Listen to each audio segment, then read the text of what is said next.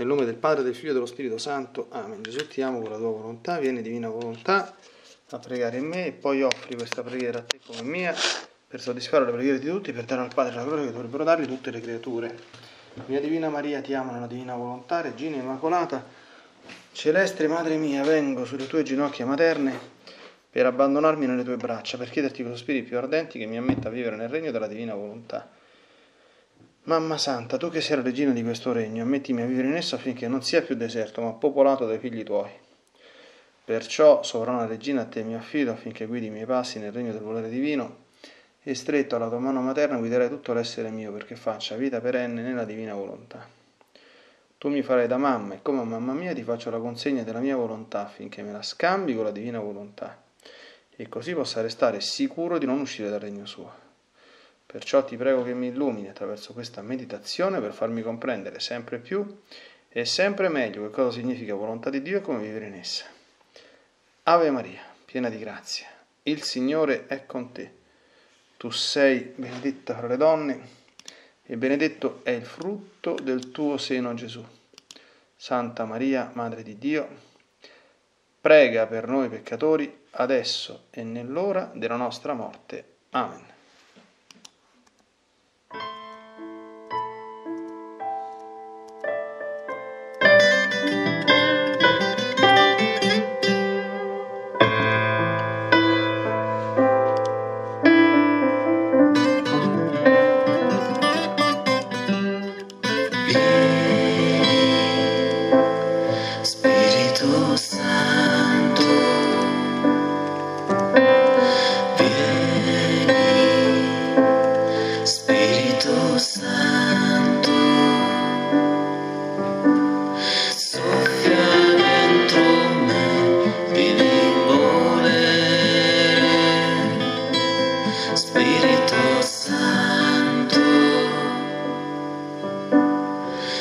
yourself.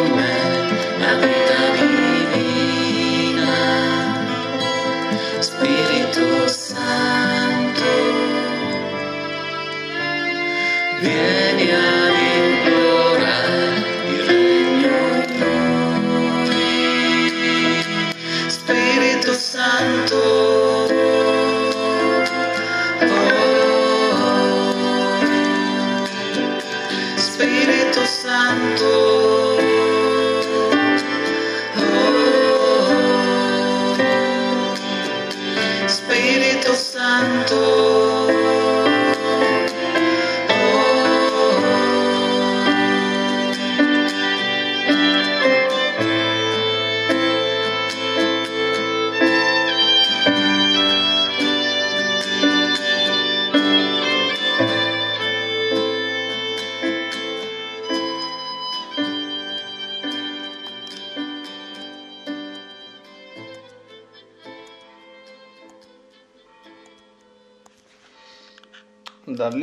Cero, volume secondo, capitolo 34, 12 giugno 1899.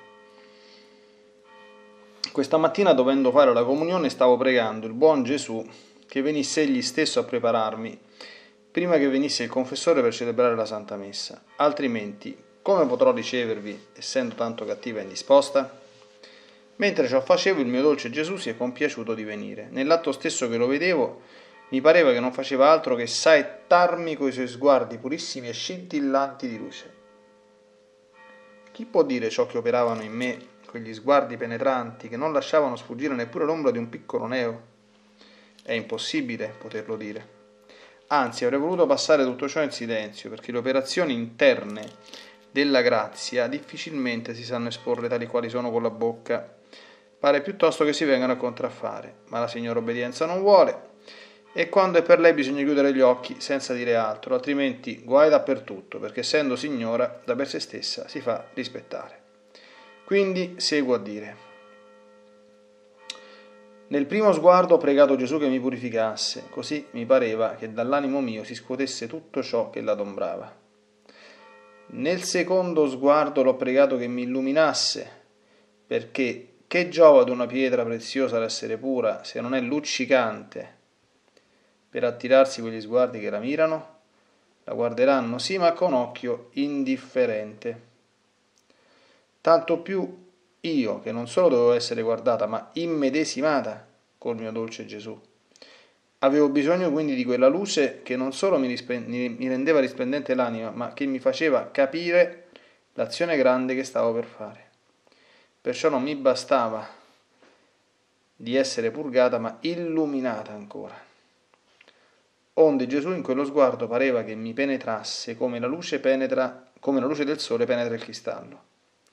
Dopo ciò, vedendo che Gesù continuava a guardarmi, gli ho detto, Amatissimo Gesù, giacché ti sei compiaciuto prima di purgarmi e poi di illuminarmi, benignati ora di santificarmi, molto di più che dovendo ricevere te, che sei il santo dei santi, non è giusto che io sia tanto diversa da te.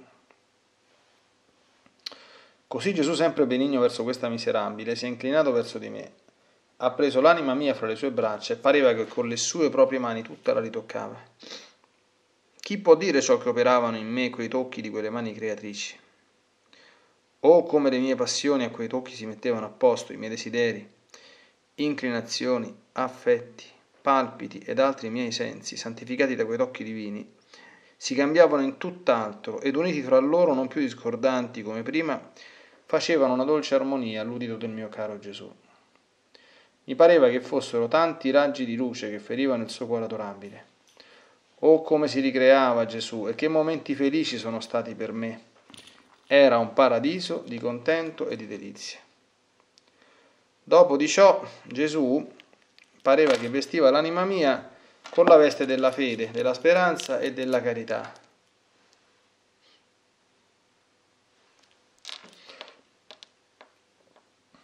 Nell'atto stesso che mi vestiva Gesù mi suggeriva il modo come dovevo esercitarmi in queste tre virtù.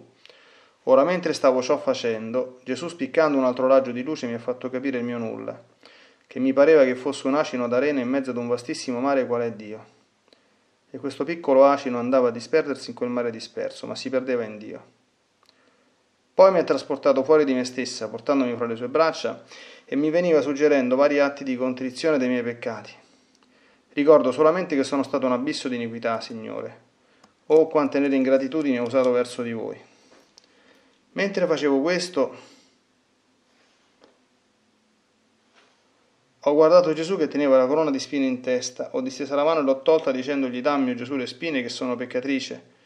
A me convengono le spine, non a te che sei giusto, che sei il santo. Così Gesù stesso l'ha conficcata sulla mia testa. Poi non so come da lontano ho visto il confessore. Subito ho pregato Gesù che andasse a preparare il confessore per poterlo ricevere nella comunione. Così Gesù pareva che andasse dal Padre Dopo poco è ritornato e mi ha detto, uno voglio che sia il modo che tratti tra me e te con il confessore. E così voglio pure da lui, che guardi e tratti con te come se fossi un altro io. Perché essendo tu vittima come fui io, non voglio differenza alcuna, e questo per fare che tutto fosse purgato, e che in tutto risplendesse il solo amore mio. Io gli ho detto, Signore, questo pare impossibile che possa trattare col confessore come si fa con voi, specialmente nel vedere l'instabilità. E Gesù, eppure è così, la vera virtù, il vero amore fa, tutto fa scomparire, tutto distrugge e con una maestria da incantare non fa risplendere altro in tutto il suo operare che il solo è Dio e tutto guarda in Dio. Dopo ciò è venuto il confessore per chiamarmi l'ubbidienza e così celebrare la Santa Messa e perciò tutto è finito. Quindi ho ascoltato la Santa Messa ed ho fatto la comunione. Ora chi può dire l'intimità che è passata tra me e Gesù? È impossibile poterla manifestare, non ho parole come farmi capire, onde le passo in silenzio.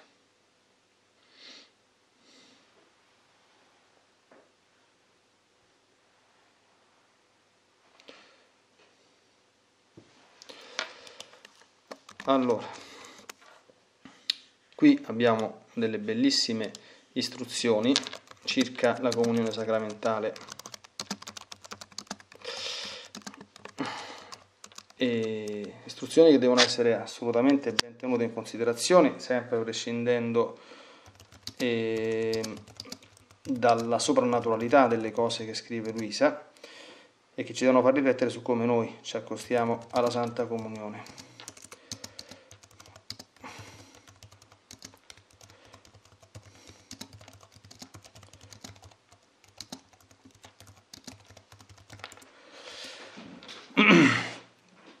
Allora, c'è una piccola premessa, a mio avviso, da fare. Eh, l'ho fatta già in altre circostanze, anche in sede di meditazioni di questi scritti. Noi oggi abbiamo completamente perso il senso dell'importanza della Santa Comunione, della sacralità della Santa Comunione della necessaria preparazione per ricevere fruttuosamente la Santa Comunione e,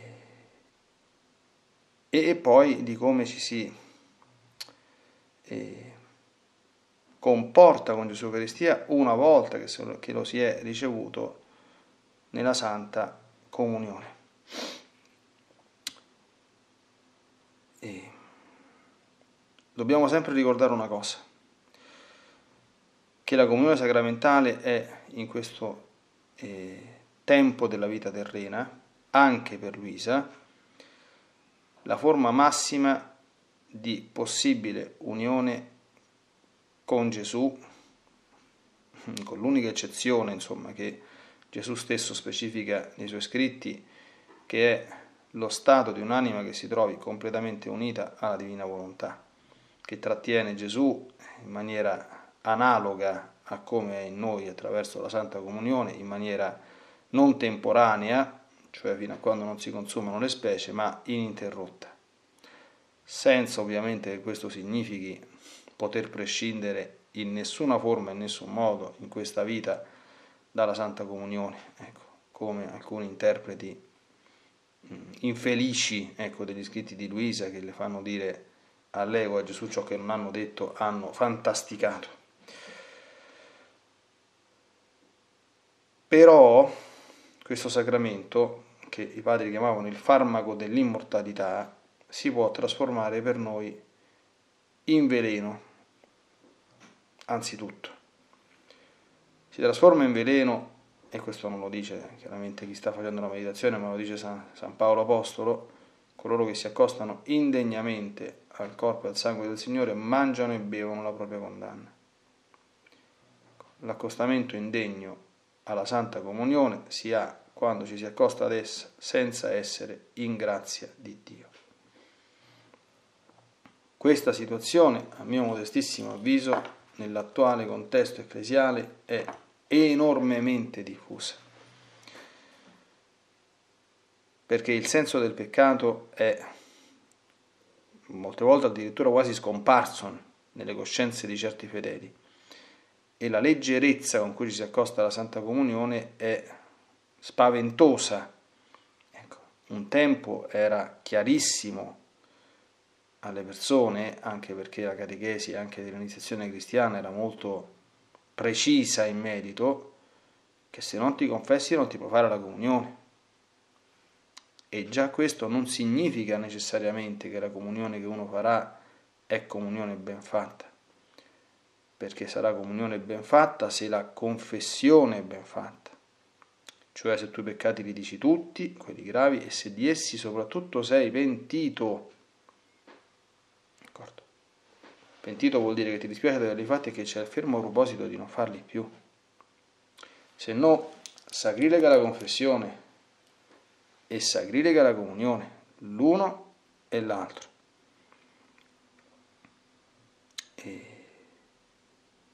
Se la comunione da farmaco di immortalità si trasforma in veleno, e io credo che questa sia un'operazione diabolica proprio in senso stretto, noi comprendiamo che ciò che dovrebbe essere la nostra vita è vita invincibile, vita eterna, perché chi ha Gesù nel suo cuore non può essere vinto dal, de- dal, dal demonio, dal nemico, non può commettere peccati rilevanti.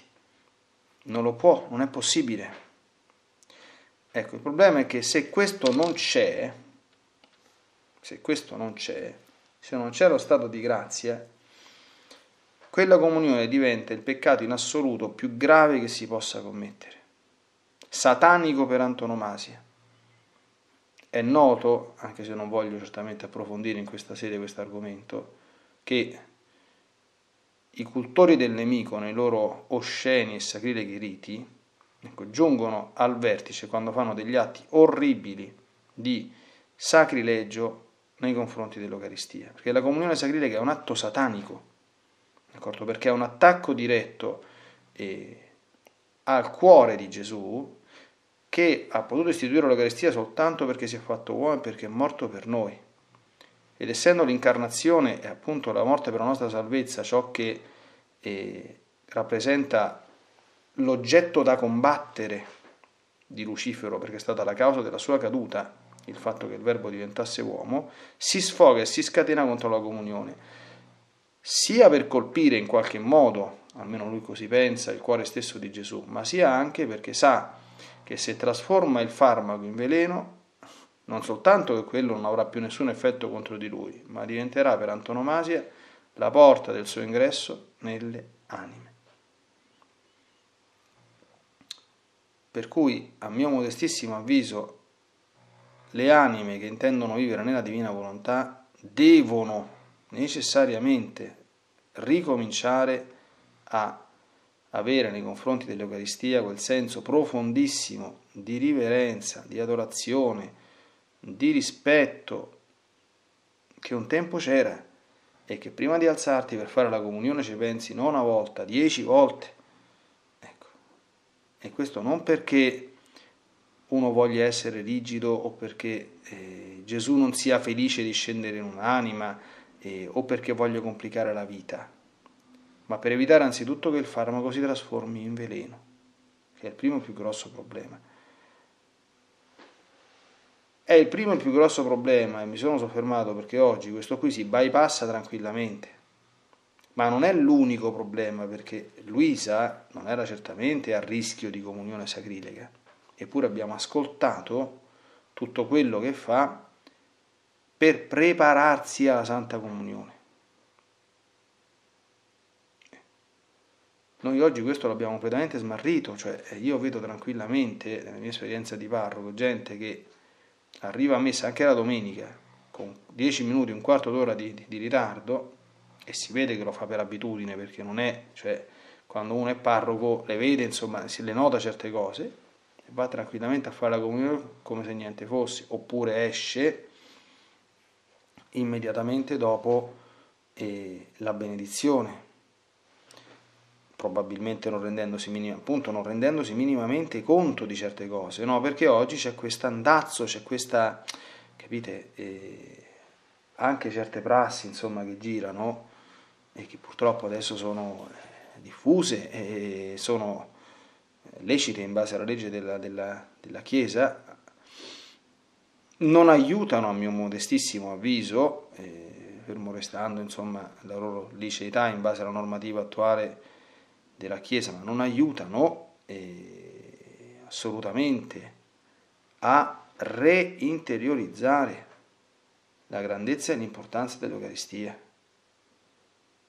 Cioè, non per nulla la Chiesa, nonostante che sia tassativamente proibito accostarsi alla comunione senza essere in grazia, tuttavia prima della comunione ci fa ripetere le parole del centurione.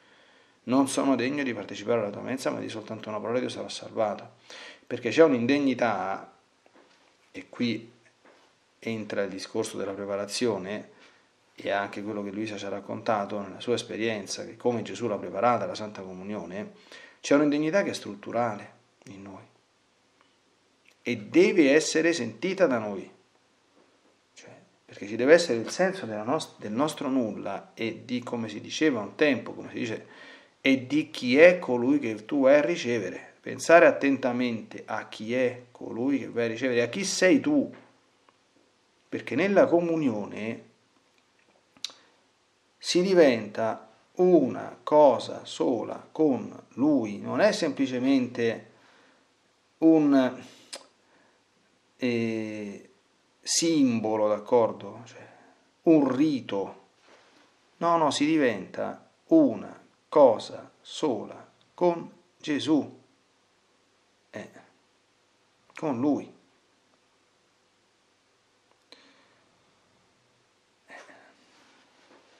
È una cosa grossa. Ripeto, non esiste in questo mondo altra forma di unione con Dio più grande che questa. Ecco, allora Gesù cosa fa? Fa tre operazioni, purificazione, illuminazione e santificazione. Ecco. Anzitutto la purificazione, cioè noi sappiamo dalla lettura esegetica ecclesiale, no? Nel Vangelo di San Giovanni la lavanda dei piedi sostituisce la, il racconto dell'istituzione dell'Eucaristia. Che cosa dice Gesù quando lava i piedi agli apostoli? Dice, chi ha fatto il bagno è già tutto mondo e non ha bisogno di lavarsi se non i piedi. Cosa vuol dire in relazione all'Eucaristia questa espressione di Gesù? Chi ha fatto il bagno vuol dire che chi si è ben confessato e quindi sta in grazia, quindi può accostarsi all'Eucaristia, ma ha bisogno che gli siano lavati i piedi, cioè che sia purificato anche da tutte quante quelle miserie, quelle colpe quotidiane, che comunque gli macchiano un pochino l'anima perché sta a accostarsi al santo dei santi. Ecco perché la Chiesa, prima, appena inizia la Santa Messa, ci fa recitare il Confiteor e un tempo nella liturgia antica, il confiteor si ripeteva prima della comunione, ad alta voce, mentre il sacerdote faceva la comunione, i fedeli ripetevano il confiteor. E poi il domino non sunt dignus, quindi anche nella struttura rituale la Chiesa, sia pur brevemente, ricordava che per accostarsi all'Eucaristia, manco basta essere in grazia di Dio, bisogna essere purificati per un'azione interna della grazia anche dalle colpe più lievi, perché stai accostandoti al Santo dei Santi.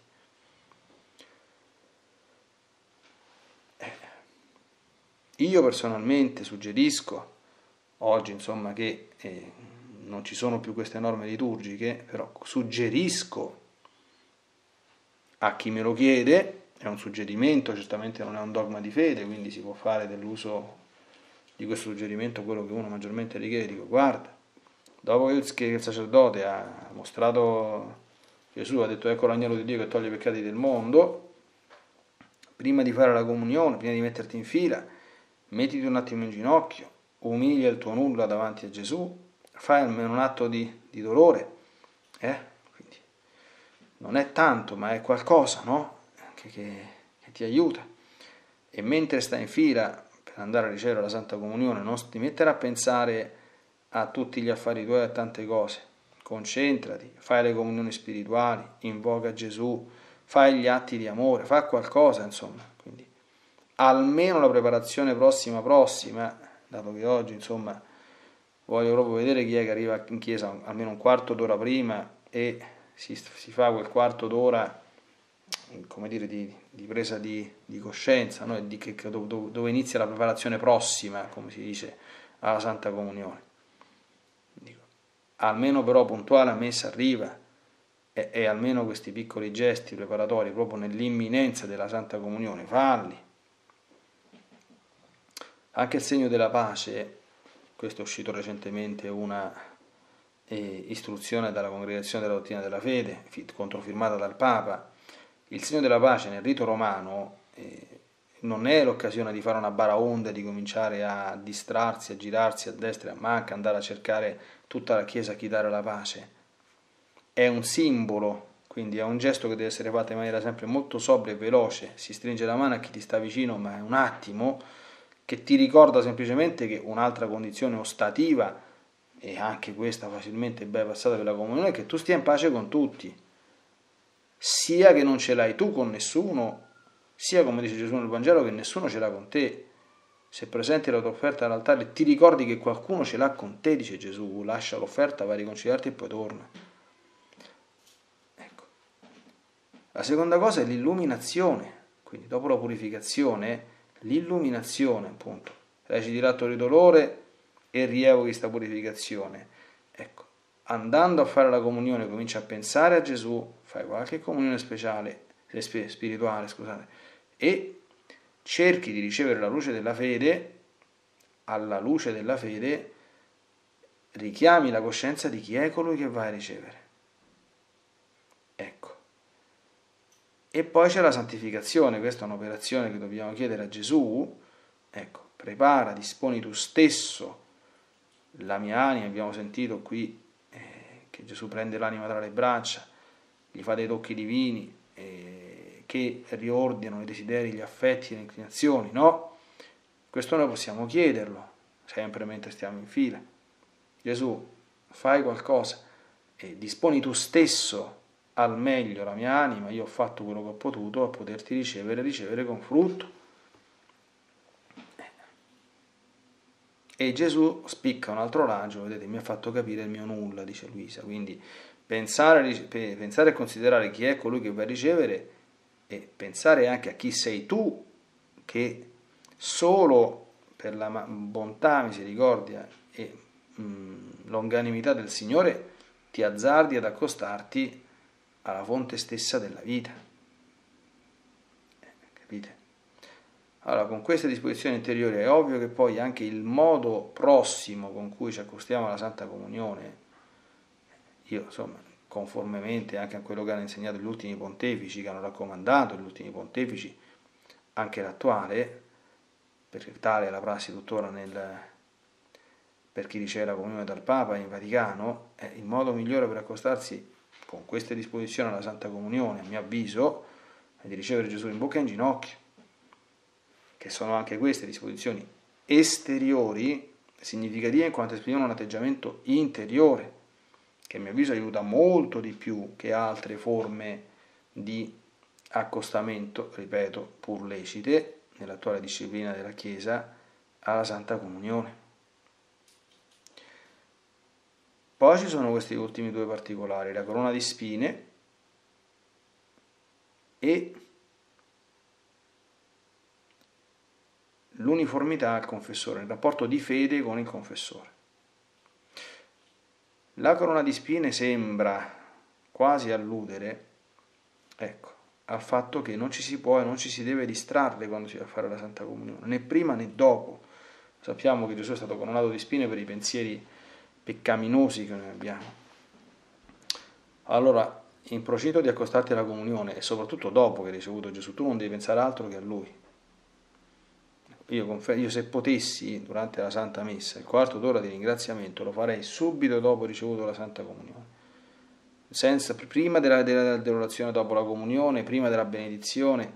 Per me è una fatica enorme ecco, dover, essendo sacerdote, comunque concludere la Messa e quindi dover posticipare il dialogo con Gesù a un po' di tempo dopo, perché è una cosa che prima c'è meglio è, e senza, diciamo così, nulla che ti distragga. E...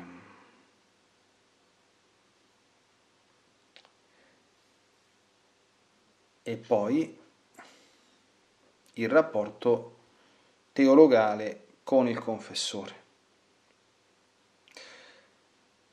Perché questo tipo di, di, di, di rapporto? No? Ecco, noi sappiamo che ancora ai tempi di Luisa la comunione era diciamo così, disciplinata dal confessore. Tu non potevi accostarti alla comunione, anche se stavi in grazia, se il confessore non te ne aveva dato facoltà e licenza. Ora, questa prassi è decaduta, d'accordo? Io personalmente, mm, evidentemente, il, il, suo uso è, è prettamente facoltativo, ma qual era la motivazione per cui, come dire, eh, si concedeva la comunione non troppo spesso, anche alle anime buone? Eh? Ecco, dico questo semplicemente per spiegare, per evitare che si facciano giudizi affrettati e anche per, come dire, spezzare una lancia a favore di una prassi che si è durata per tanto tempo, eh, aveva certamente una ragione di essere. Il motivo è molto semplice, di una, di una semplicità disarmante. Ed è questo, se tu fai una cosa tutti i giorni, eh, ne prendi l'abitudine. Cioè, eppure il tasso di fruttuosità di questo sacramento dipende dall'intensità del desiderio. Cioè questo sacramento produce tanti maggiori frutti in te, quanto più l'hai desiderato. E quando è che, che noi desideriamo qualche cosa? Quando quella cosa non ce l'abbiamo più. Abbiamo visto anche i giochi di amore che Gesù faceva spesso con Luisa, no? Non si faceva vedere, la lasciava un po' di tempo senza di lui, questo chiaramente sul piano mistico, perché? Perché lei, come dire, impazziva dal desiderio, lo, lo chiamava, lo cercava, torna presto, eh, non ce la faccio più a stare senza di te, no? Questa chiaramente è... Allora, noi non abbiamo la visione di Gesù, ma noi abbiamo l'Eucaristia. Ma ricevere l'Eucaristia è più che vedere Gesù, eh? Attenzione. E allora, anche nei confronti di ricevere l'Eucaristia, eh, dovremmo trovare il modo noi di esercitare il desiderio. E, nel senso che se tu magari ti accorgi che non c'è un grandissimo desiderio di Gesù e che magari stai facendo questo gesto in maniera abitudinaria, io ne parlerei con il confessore se fossi, se, se, se ce l'hai, insomma, no? Oppure in coscienza, sei anche tu stesso, che, che potresti dire, ma oggi ho poco desiderio, Gesù mio, non è che non mi accosto perché non ti voglio bene, non mi accosto perché aumenti in me il desiderio. Nel frattempo, rinunciando a questa comunione, che forse sarebbe un po' superficiale, io ti riparo per quelli che si accostano alla comunione ecco, con troppo frettolosamente e ti mettono nell'etamaio, facendo, nell'etamaio di un'anima non in grazia facendo comunione sacrilega. Questo a mio modestissimo avviso, questi sono tutti quanti pareri miei personalissimi, però a mio, a, mio, a mio modestissimo avviso un atto di questo genere produrrebbe molti più frutti interiori che una comunione fatta tiepidamente o eh, freddamente per ragioni dipendenti da scarsa preparazione o da mancanza di desideri. Ecco, mm, io penso che eh, queste considerazioni siano molto attuali.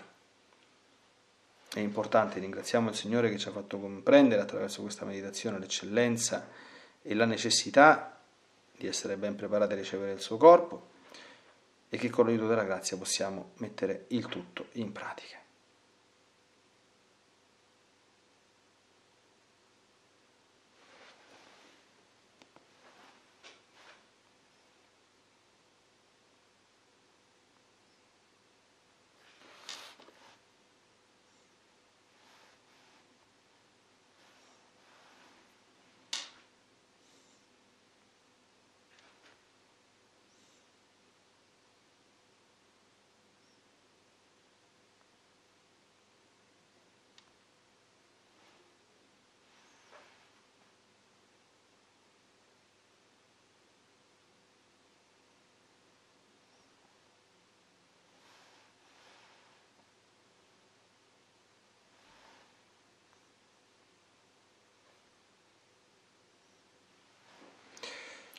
Benedina Maria, noi non possiamo immaginarci come erano le tue comunioni sacramentali, che sicuramente hai fatto in questa vita, mm, sia prima di ritirarti a vita privata con San Giovanni, quindi nei primissimi momenti della vita della Chiesa, sia soprattutto le messe che ti celebrava lui, nella vostra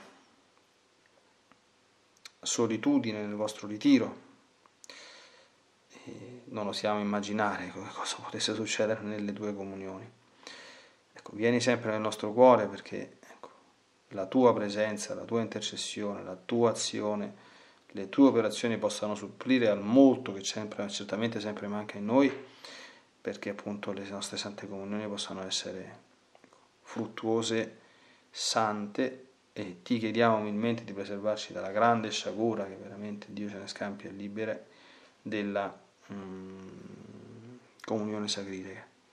Ecco, se ci sono state in passato che possiamo confessarle, ma che mai più accadano in futuro e che mai per noi il farmaco dell'immortalità abbia a trasformarsi in veleno oppure ecco, a come dire, cibo come dire, quasi in odore, in sapore che diventa per causa nostra, non certo per causa sua, quando adesso ci accostiamo con leggerezza, ecco, superficialità, mancanza di desiderio o di preparazione.